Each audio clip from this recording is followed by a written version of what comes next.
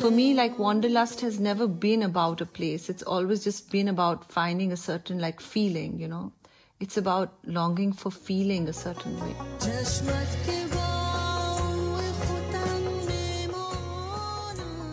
I asked Zeb if she wouldn't mind humming one of those yearning songs for elsewhere. There is this this rag des. I can sing that for you. Hmm, charahi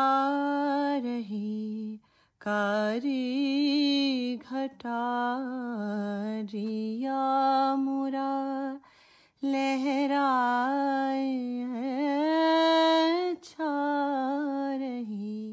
Zeb is not singing about a physical place. Right, and and it's interesting that in our part of the world, it's it's an imagined space always. It's almost, it's not just a place. It's also it can be a season. Like in this, you're you're talking about kind of you know the pre-monsoon ghata coming in. You know, kari kari ghata. So I'm I always think of the monsoons.